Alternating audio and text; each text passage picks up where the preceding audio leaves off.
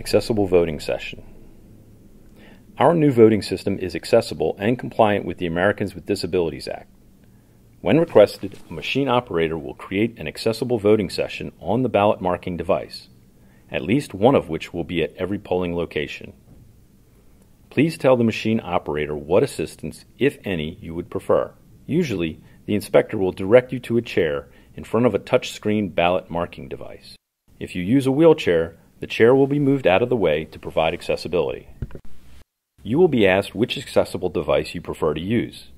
In addition to the touchscreen, you may use the audio tactile interface, a sip and puff, or a paddle device. Each polling location will have an audio tactile interface. If you use a sip and puff or a paddle device, please bring it with you to the polling location and it will be plugged into the ballot marking device. Once selected, the machine operator will ensure that the device is properly connected to the ballot marking device.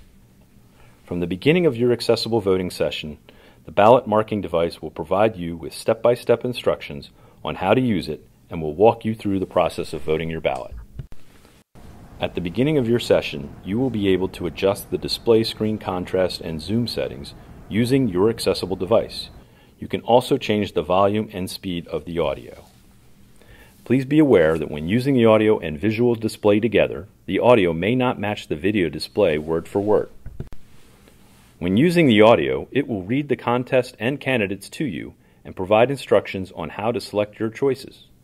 There may be a slight delay between when you make your selection and when it registers on the screen. The accessible device also allows for write-in candidates. When you get to the end of the ballot, you will have the option to review your selections and make any changes or to skip the review and proceed to printing the ballot. It's now time to scan the ballot. If you need assistance inserting the ballot into the scanner, place the ballot in the privacy sleeve and ask the machine operator for help. The ballot can then be inserted into the scanner using the manila folder to protect the voter's privacy. The scanner will automatically count the voter's selections and deposit the paper ballot into the ballot box.